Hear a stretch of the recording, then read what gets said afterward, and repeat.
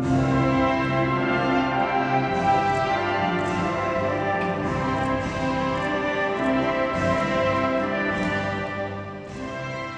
presence here proves that your commitment and that of your own nations uh, to a safe and secure, environment will continue.